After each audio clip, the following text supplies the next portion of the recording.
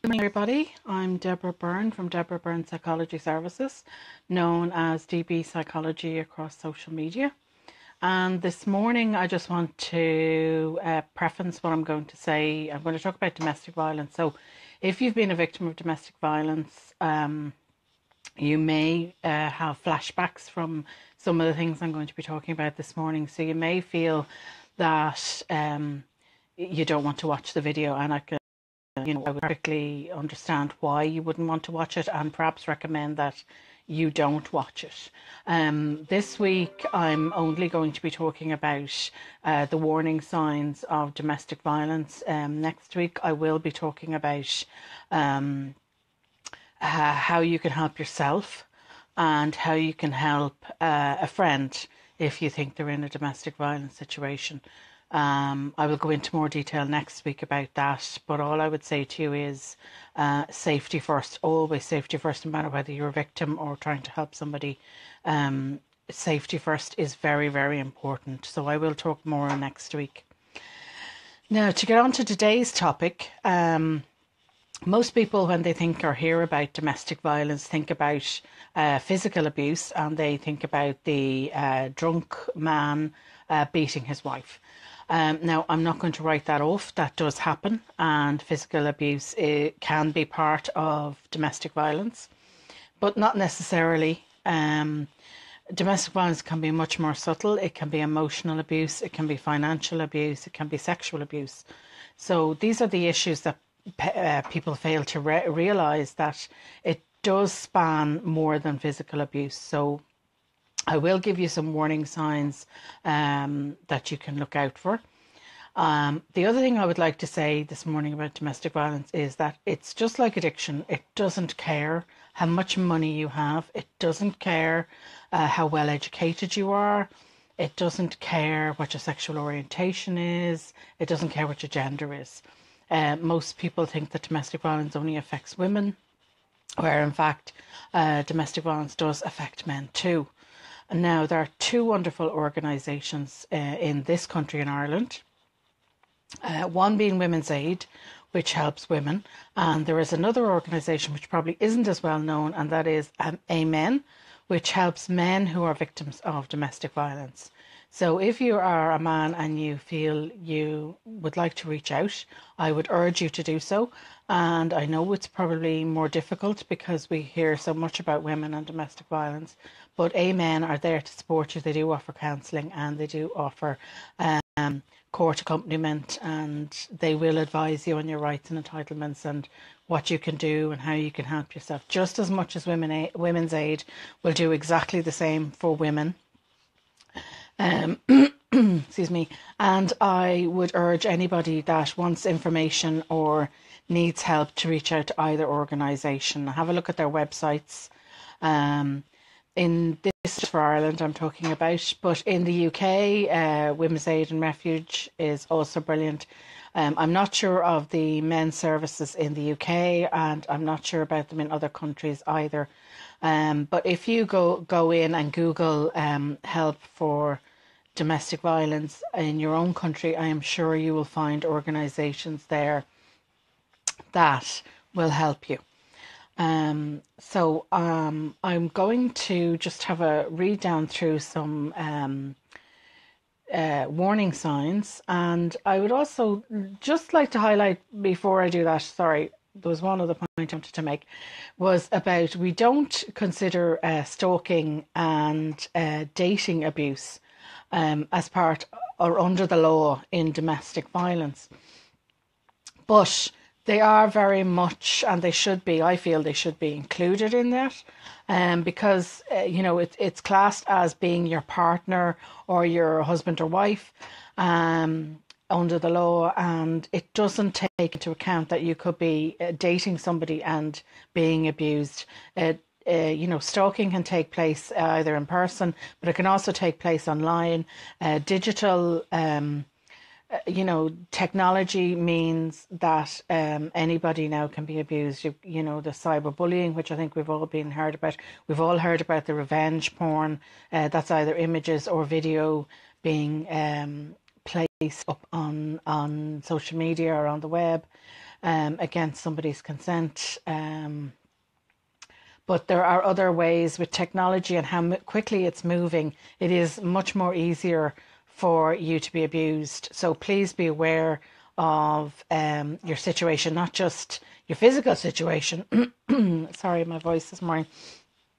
Not just your physical situation, but also be aware of um, what information you're putting out there on social media and what information or how people can um, or could access your your your phone or your tablet or your laptop or your computer. Um, so just be aware that abuse can occur and does occur um, online as well as in person. Um, even if you are with your husband or wife uh, or your partner, they um, in a domestic violence situation they do tend to use social media against against you, either access to it or um, uh, to spy on you. So these would be some of the warning signs. I'm just going to start them now. So some of the warning signs. Um, now, any one of these can be a warning sign of domestic violence. But if you are beginning to see a pattern, a consistent pattern with any of these, um, perhaps it's time to reach out for help. Now, as I said, safety first. So I will talk about that next week. Always, always, always, if you're accessing any sort of information online, make sure you know. And a, a Women's Aid will, has a great um, uh, information on how to delete your cookies and things like that. So just be very, very careful though about doing that in your browser history, because if you do do that, um, your partner may know that you have done it. So uh, take their advice. It, it, they do walk you through it step by step on how to access the information, or perhaps you can reach out to a friend uh, or go to the local libraries. The local libraries um, offer their use of their computers for free. So think about doing it that way, maybe going there to get your information. If you feel your safety could be compromised, if you use the home computers or laptops or your your phone or anything like that. Um, do think about where else I could use I could get my hands on um, information online. Um, so if you are afraid of your partner, um, if you are constantly thinking about their, their moodiness, walking on eggshells, if you are constantly um, worried about their needs and is their needs being met, are they happy, then, you know, think about this. You shouldn't have to be doing that. You shouldn't really have to be worrying about them constantly. They shouldn't be have to be your main focus um, all the time. So think about it. What is this normal? Is or is this level uh, gone up a bit? Um, are you are they losing their temper over silly things? Is becoming a bit more um, uh, consistent that they're losing their temper over the least little thing? And you know, as I said, you're walking on eggshells around them. Um, I do have to look over my notes because, as I said in my last few videos, my brain I can't keep it all in my brain, and this list is quite extensive. Um, you know, the obvious one obviously is have they hit you or threatened to hit you or threatened to hit your children? Have they are they controlling your money? Are they controlling the bank accounts? Um, are you allowed to work? Are you um, allow, um, are you allowed to keep your income? Have they drained all the bank accounts? Uh, that all the income is going into their account, it's under their control. Have you been forced to sign your signature to something? Have you, you know, banking documents, or have you been forced to go into a bank and sign over money or give money? Um, are they, you know, are they withholding money for food? Are they threatening to withhold money? Are they, you know, not just for you, but uh, your children? Children are affected by domestic violence as much as the person in the relationship. Um, sexually? Are you being forced to have sex against your will? Are you being raped? Are you, you know, are you in a vulnerable situation where you're being forced to have sex? Uh, maybe they're forcing you to have sex with other people. Um, this is all domestic violence. It's not just about the hitting. Are they um, are they verbally abusing you? Are they verbally and criticizing you, not just in front of other people and putting you down constantly, but this can be just done very quietly, very subtly. It's constant. Um, it's drip, drip, drip. Uh, constantly criticizing you, calling you names, and doing it at home in private. Maybe not in front of the children. Maybe they are. Um, and constantly doing this, the constant criticism is um, is awful. It can be emotionally draining, psychological. It's like psychological warfare. Okay, that's what they would employ if they if you were going to war. They would employ psychological warfare, and that is what this can be um, uh, likened to. Um, are you being, you know, are they constantly criticizing your family or are you being restricted in seeing your family and friends? Do they say what you can wear, what you can't wear, and then, you know, eh, throwing tantrums and, um, you know, over over everything that happens in your life? They're very very controlling. So it just it doesn't have to be that that they're hitting you, and but there is a threat of violence, um, but they are controlling every little aspect of your life um, and that you know that that can really get in on your psyche. Um, and um, it, it can be very detrimental to your mental health. Uh, a lot of women and men who leave domestic violence situations um, you will have PTSD and you do need to reach out for help once you you want you know you will need therapy once you leave. And that is a um, it, it's a very difficult thing to do to actually leave a domestic violence situation. Um, it can build up over years and years. As I said, it gets in, they get into your head, um, and you begin to question your own sanity. So it can be very hard for to leave. So if you are trying to help somebody and they don't want to leave, um, don't don't you know don't give up on them. Don't don't give out to them. Just be kind, be listening, and um, because it is very hard. It, it not many people make it out, um, but it, it is possible. Please, please remember this. It is possible to leave a domestic violence situation. I'm just going to check my notes now and see if there's anything else I wanted to. Um, I have a lot of. It's a, as I said, it's a very long list. Um, you know, are yeah, are they are they jealous? Um, are they accusing you of flirting or having affairs falsely?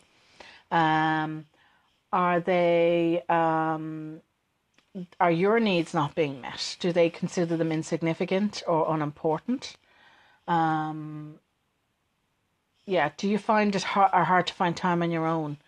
Now, when I say this, um, it's not the usual, you know, your kids are following you around and you don't get any time to yourself. But um, it's it's going to be all about their needs and their wants and their desires. It's not going to be about your needs, your needs for time off. Um, you may be followed within your own home. They may have uh, spying equipment, as I said, spyware on your on your phone, on your laptop, um, on your computer if you do go out to work, they'll want you know, you will have to uh, account for your whereabouts. You would have to account for your spending. Uh, you won't be allowed buy personal items. Um, uh, you know, as I said, it's not just about the physical, guys. It's not. It is. You know, it crosses over to the sexual, uh, the financial, and the uh, emotional abuse as well. Um, they are going to want to control, as I said, everything, including um, the, not just the finances, but the access to the car. All the assets may be there in their name, and the debts may be in yours. Uh, if you think about it, they'll want they'll want the house in their name, so you know you don't have control over that. Over that, make sure that you know that you are legally entitled to have a house. If you buy a house, that you are entitled to have your name on that document. Um, the car, even though you may own two cars, they may insist on having both their cars in their name because if you upset them, then they can legally take that car away from you. It's their car. Um, so if you are buying that car with your own money, it should be in your name, not in their name. There are so many ways uh, in which uh, a perpetrator can abuse you. So it, it's a very long and very extensive list and I do go into I break down the emotional, I break down the financial, I break down the um, physical and the sexual uh, abuse down into a bit more detail on the blog. So if you'd like to read it, it's on www.deborahbyrnepsychologyservices.com. And I would just like to finish on saying um, that as long as anybody any man or woman in our society, and I'm not just talking about um, Ireland, I'm not just talking about the UK, I'm not just talking about your own country, I'm talking about us as a society worldwide are in a domestic violence situation. If one person is left behind, that's unacceptable. That is completely unacceptable. It is up to us to stop this. It is us to educate our children because they need to be aware that domestic violence can occur in dating. Uh, again, that's not covered under the law. It, they they think about it in terms of partnerships and marriage, um, you know, and long term relationships. But the warning signs can be there in a dating relationship. So if you, um, you know, we should, as parents, uh, warn our children about what is acceptable behavior from somebody and what isn't. So in in we can do that by building their self esteem and their self confidence, um, and looking at our own behavior. So I will finish on that, and I know it's a difficult topic this week. Um, I know some people won't want to watch this, and I know some people will find it difficult for their own reasons why they can't. But please, um, if you can, spread the word, get educated, get empowered. That's very important. That's why I do the blogs. That's why I, you know I write. It's about empowering you.